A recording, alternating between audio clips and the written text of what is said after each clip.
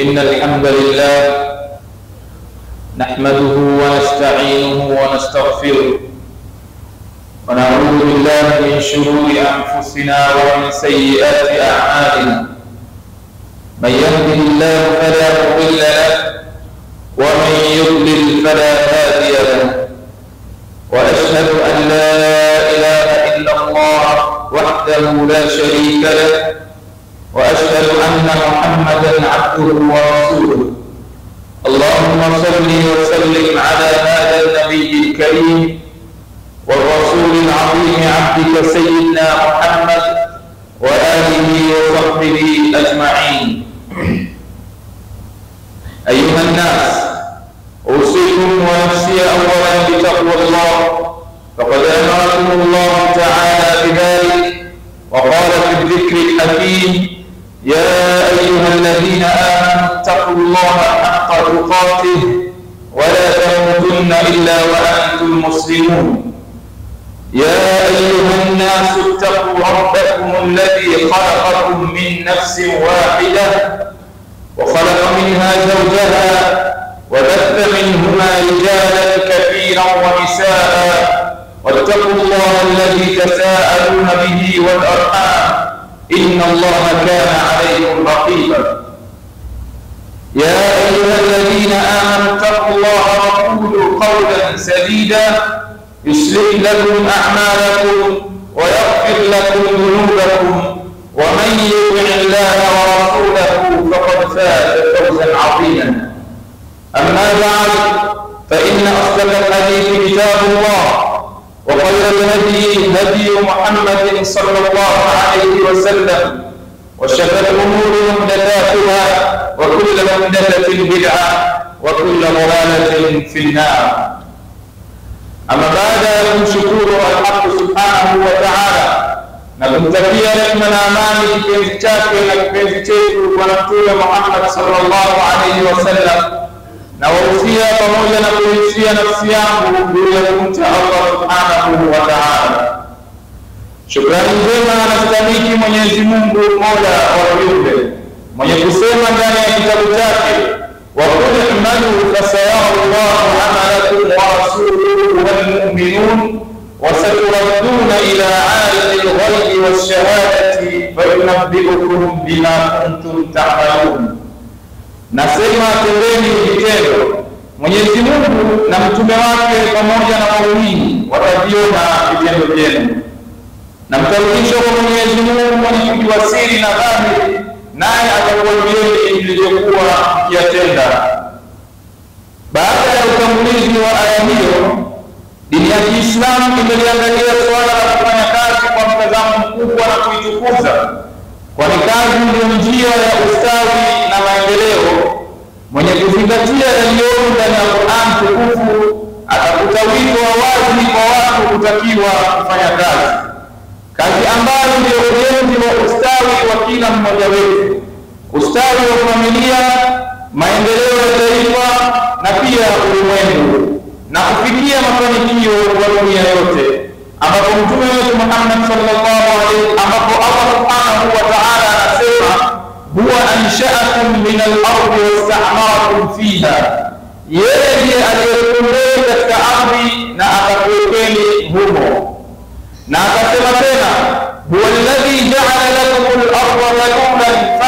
Fi manakibiha wa kulu min rizqihi wa ilayhi an-nushur, yeye ndiye ambaye ameidhalilisha kwenu ardhi, basi tembeeni kwenye pembe zake na mule katika riziki zake na kwake ndiyo marejeo.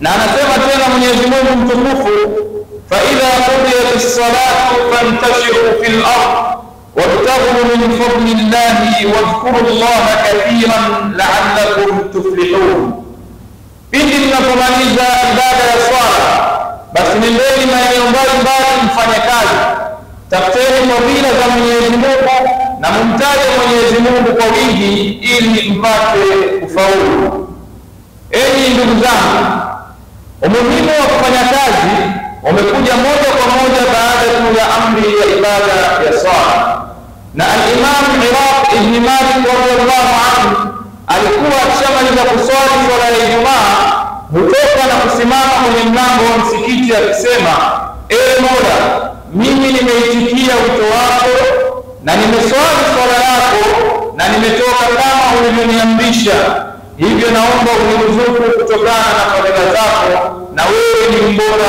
wa kutoa riziki.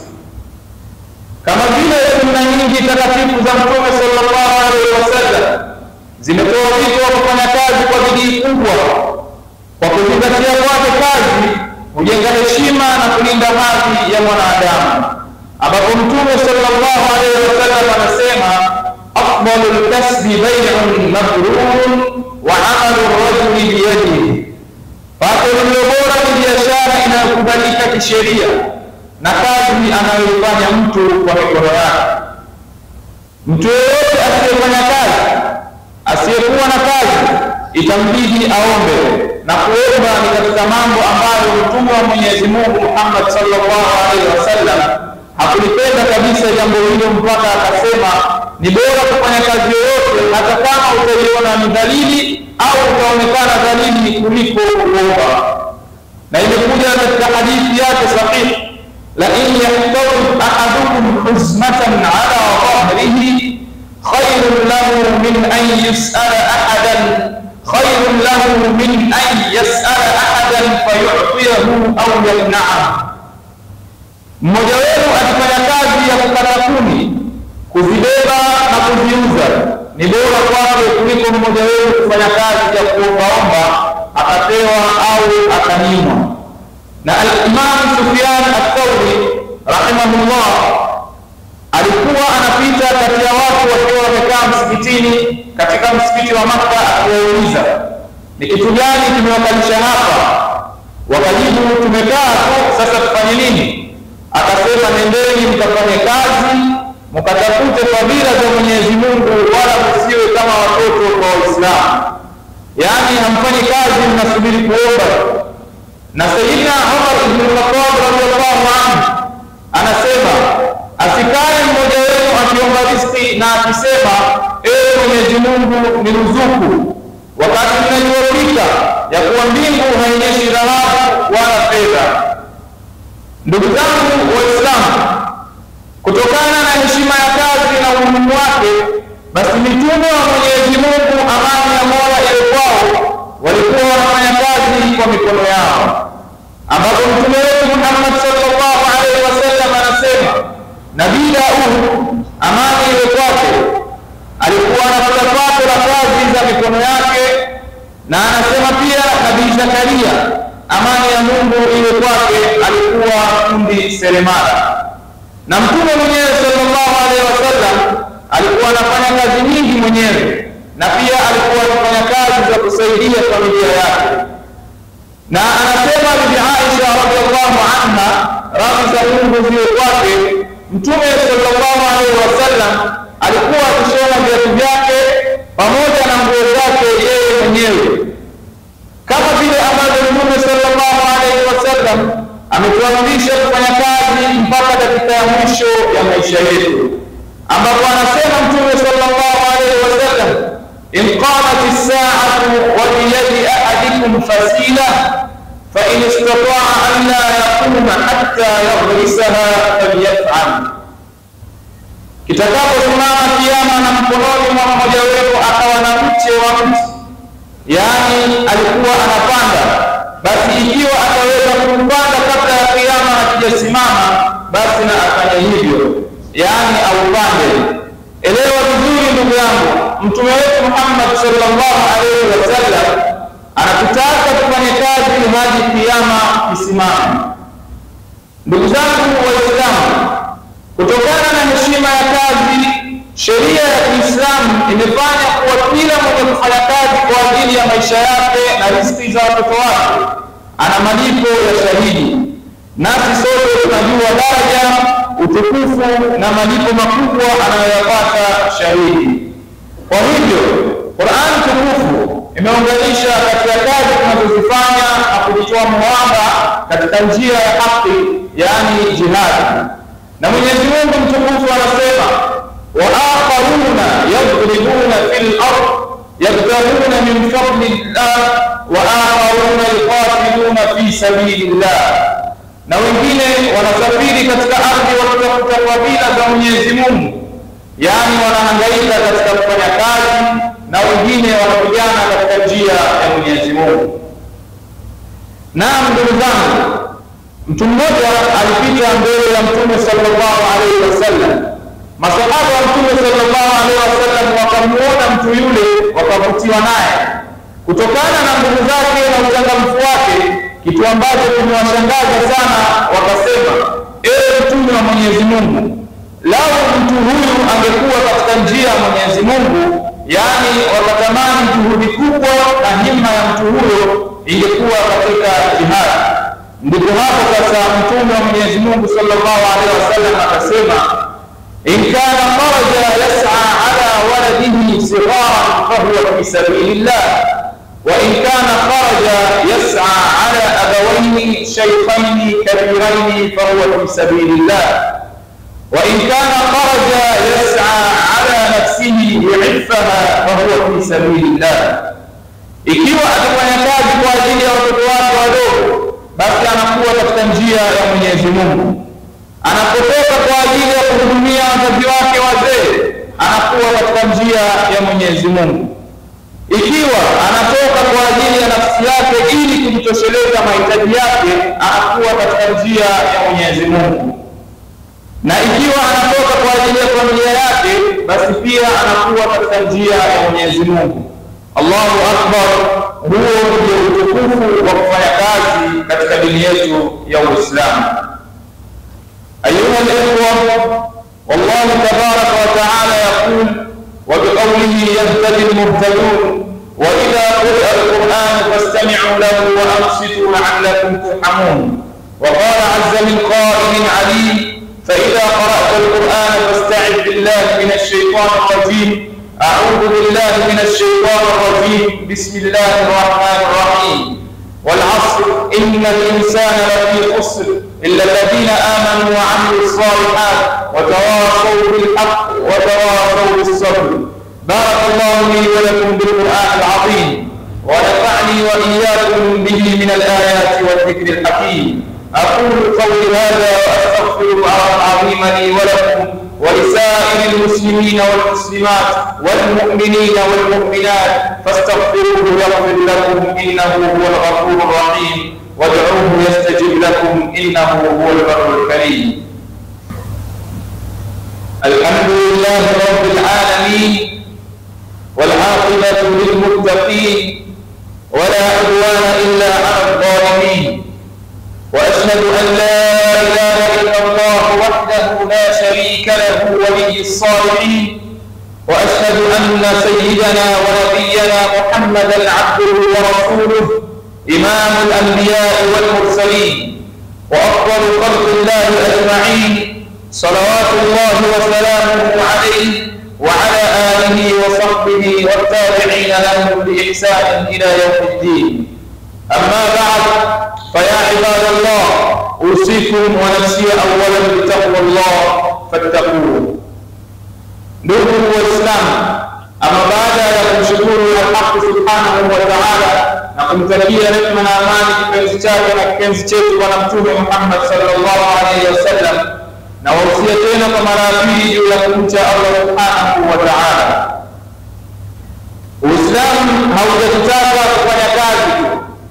bali umetuhimiza kufanya juhudi na kuwa makini sana katika kazi ili kupata radhi za Mwenyezi Mungu naye Mwenyezi Mungu ataahidi kutoa malipo makubwa na thawabu nyingi.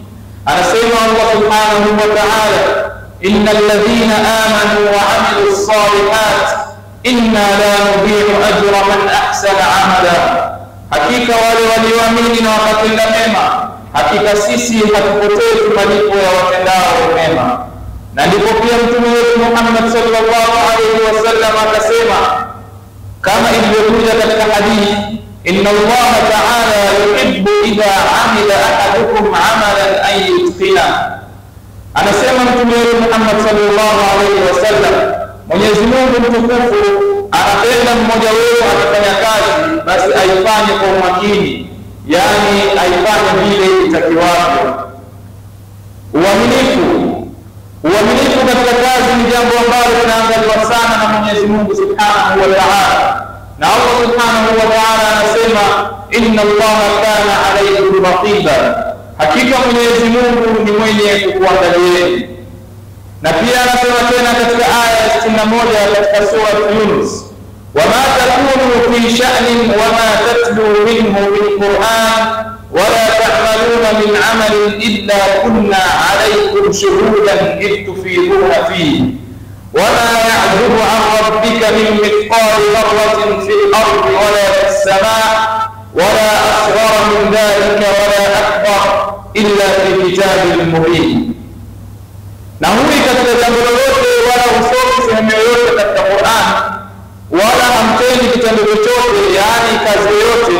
ila sisi huwa ni mashahidi juu yenu mnaposhughulika nayo na hakipitikani kwa Mola wako mlezi chenye uzito wa hata chembe katika ardhi na katika ulimwengu, wala kidogo kuliko hicho, wala kikubwa, ila kimo katika kitabu kilicho wazi.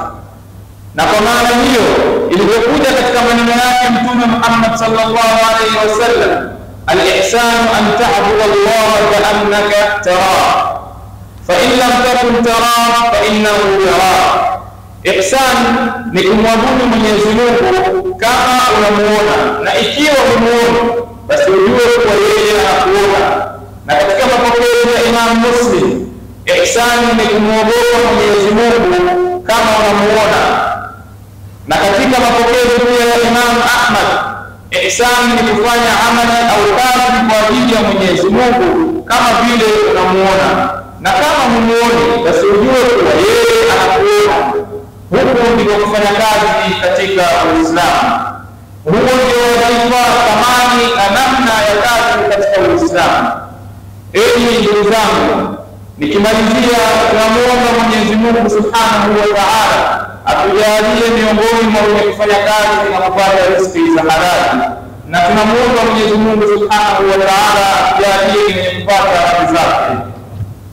Fattaqu llaha ayuha lmuminun وتوبوا إليه واعملوا صالحا لعلكم تفلحون. هذا وصلوا وسلموا على إمام المرسلين وقائد الغر المحجلين.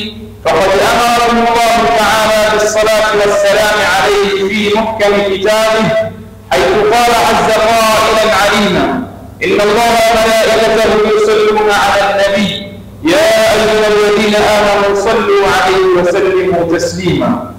اللهم صل على سيدنا محمد وعلى آل سيدنا محمد كما صليت على سيدنا إبراهيم وعلى آل سيدنا إبراهيم. وبارك على سيدنا محمد وعلى آل سيدنا محمد كما باركت على سيدنا إبراهيم وعلى آل سيدنا إبراهيم في العالمين إنك حميد مجيد. وارض اللهم عن خلفاء الراشدين أبي بكر وعمر وعثمان وعلي وعن أزواجه أمهات المؤمنين وعن سائر الصحابة أجمعين وعن المؤمنين والمؤمنات إلى يوم الدين وعنا معهم برحمتك يا أرحم الراحمين. اللهم اجعل جمعنا هذا جمعا مرحوما واجعل تفرقنا من بعده تفرقا معصوما ولا تدع فينا ولا معنا شقيا ولا محروما. اللهم إنا نسألك الهدى والتقى والعفاف والغنى. اللهم إنا نسألك أن ترزق كل منا لسانا صادقا ذاكرا وقلبا خاشعا منيبا وعملا صادقا زاكيا وعلما نافعا رافعا وإيمانا راسخا ثابتا ويقينا صادقا خالصا ورزقا حلالا طيبا واسعا. يا ذا الجلال والإكرام. اللهم اعز الإسلام والمسلمين ووحد اللهم صفوفهم واجمع كلمتهم على الحق واكسر شوكة الظالمين واكتب السلام والأمن لعبادك أجمعين. اللهم ربنا اسقنا من فيضك المدرار وجعلنا من الذاكرين لك في الليل والنهار المستغفرين لك بالعشي والأسحار. اللهم أنزل علينا من بركات السماء وأخرج لنا من خيرات الأرض وبارك لنا في ثمارنا وفروعنا يا ذا الجلال والإكرام. ربنا ربنا آتنا في الدنيا حسنة وفي الآخرة حسنة وقنا عذاب النار. ربنا لا تزغ قلوبنا بعد إذ هديتنا وهب لنا من لدنك رحمة إنك أنت الوهاب. ربنا ظلمنا أنفسنا وإن لم تغفر لنا لنكونن من الخاسرين. اللهم اغفر للمؤمنين والمؤمنات والمسلمين والمسلمات الأحياء منهم والأموات إنك سميع قريب مجيب الدعاء. عباد الله إن الله يأمر بالعدل والإحسان وإيتاء ذي القربى وينهى عن الفحشاء والمنكر والبغي يعظكم لعلكم تذكرون. اذكروا الله الجليل يذكركم واشكروه على نعمه يزدكم ولذكر الله أكبر. والله يعلم ما تصنعون.